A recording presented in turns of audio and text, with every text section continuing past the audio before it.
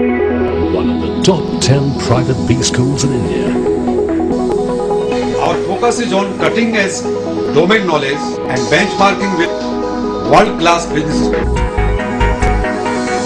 Big Tech. Excellence with values.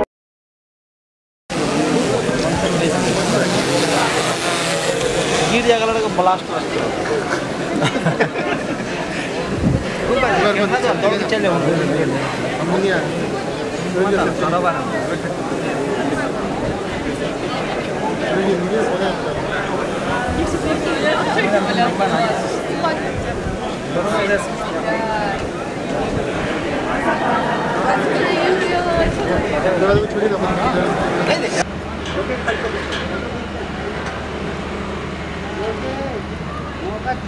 in the motorsport field, I can tell you, we actually got calls from the international participants, international teams taking part in Europe, taking part in the UK and the FIA, saying, look, we want to send people down, we want to send observers down.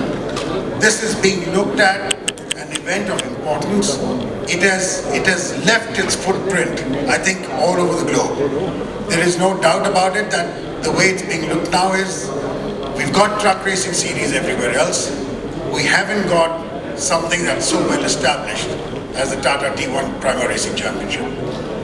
What tomorrow will determine or tomorrow will say, yes, we'll go down in the annals of history as completion of season four.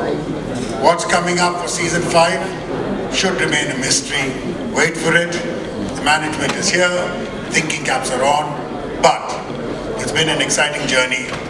And you know, we all, we've all loved it. And before I sign off, we've had the pleasure of getting the FIA Permanent Race Director. Very rare to get somebody like him. Tony Eden, who's coming from the FIA improve our officials and our outlook towards the sport as well. So he's been conducting informal discussions and seminars over the last two two days here. Thank you for thank you for joining us, Tony. And could I request to this extent to bring members of the community. You're bringing members of the community, people from the road, into motorsport, and the benefits to everybody is tremendous. I would like to bring the thanks of the FIA in recognition of what you've done.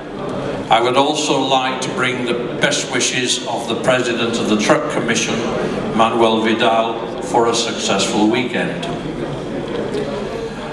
Where is truck racing going?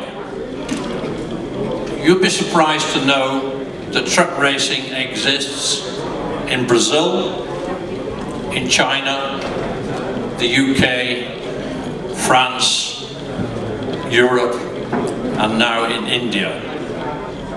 It is the second biggest motorsport meeting is somewhere between seven and 10,000. The average attendance at an FIA GT championship, apart from the 24 hours of Le Mans, is somewhere between 8 and 12,000. In Europe, last year, half a million people watched nine events. That's 50,000 people per event.